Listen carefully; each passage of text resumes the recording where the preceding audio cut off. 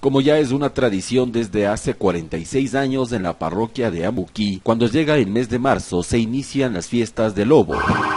La tarde del viernes anterior se realizó el pregón de fiestas que recorrió sus principales calles. Como año tras año nosotros eh, celebramos nuestra fruta tradicional y exótica como son la fruta de los ovos, entonces por ende son las fiestas de los ovos en honor a esta fruta tan conocida a nivel nacional e internacional. Don Gilberto Castro es habitante de Ambuquí. Desde hace 15 años se dedica a la comercialización del lobo y algunos de sus derivados. Él nos cuenta cómo esta fruta llegó al sitio. Se dice que los antiguos mayores decir, que el lobo precisamente ha sido traído por los, mm, por los padres jesuitas, o sea, de, del África, y que ellos buscaron el clima más apropiado como para, para prenderle el lobo.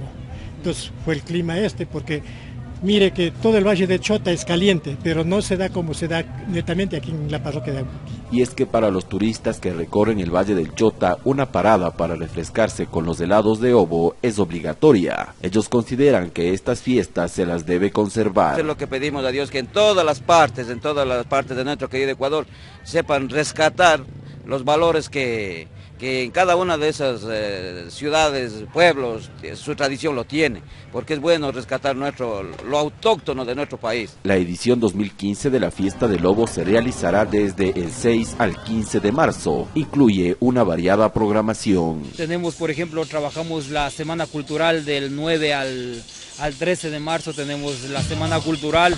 Luego continuamos el día sábado con el gran festival de la de la música como con la presentación de Américo de Yo Me Llamo, también tenemos la presentación de, de Marabú, de Villamauta y de igual manera con un poco de salsa choca. Para las fiestas de Lobo en Ambuquí, la Junta Parroquial invirtió un presupuesto de 8 mil dólares. Con imágenes de Diego Martínez, Paolo Ponce, Prisma Informativo.